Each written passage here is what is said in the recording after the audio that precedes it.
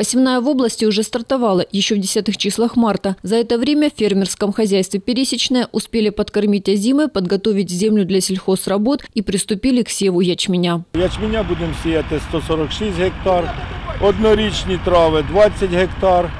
Ну а потім трошки пізніше буде соняшник, кукуруза, соняшник 95 і е, кукуруза 70 гектар.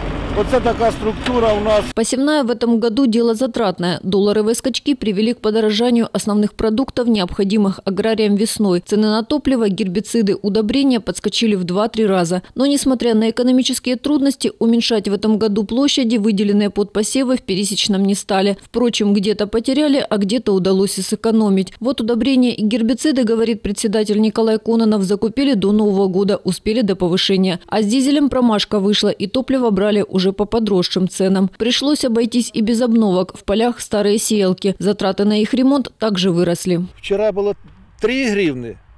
Сегодня приходишь, доллар по- подскочил, они взяли его по, по, по 3, а они уже с- сразу хватаются за счетную машинку, пересчитывают. Я говорю, как ты же по, по- взял же по это самое, что ж ты мне э, по такой цене? А нет, мне надо покупать, ну, свою сторону держит и все.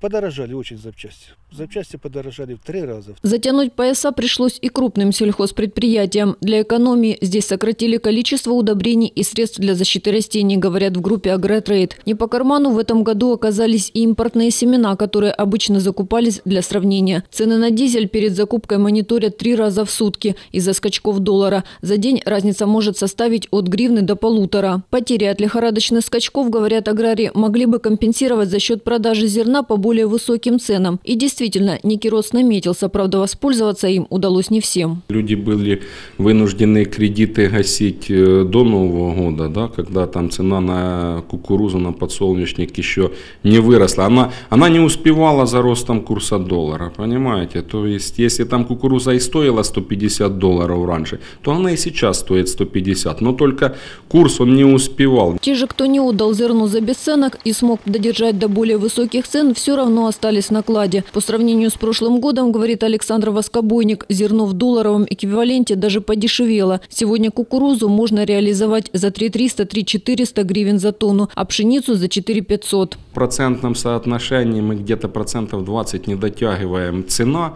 э, реализационная нашего, нашей продукции и цена закупочная, которой мы закупаем себе ТМЦ, мы процентов 20 отстаем. Такая ситуация уже начинает выводить отдельные компании с рынка. Те, кто не успел подготовиться к весенне-полевым работам еще до Нового года, в этом году получат меньше урожая. Есть и такие, кто передают земли в субаренду, понимая, что не вытянут такой нагрузки. Оксана Нечапаренко, Александр Романовский, Александр Проценко, агентство телевидения новости.